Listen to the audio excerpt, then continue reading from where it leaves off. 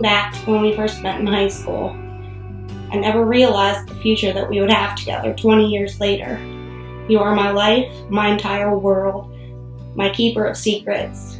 You are my love story. I write you into everything that I do, everything that I see, and everything that I dream. You are the reason for my smile.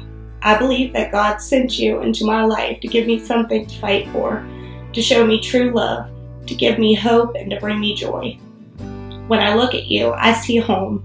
My soul feels complete. You are the other half of me, and I fall in love with you every single day.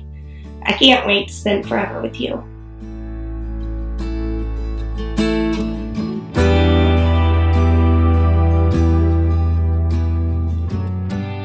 Hey, baby, I just wanted to say that I'm super excited about today and thank you for everything that you've done.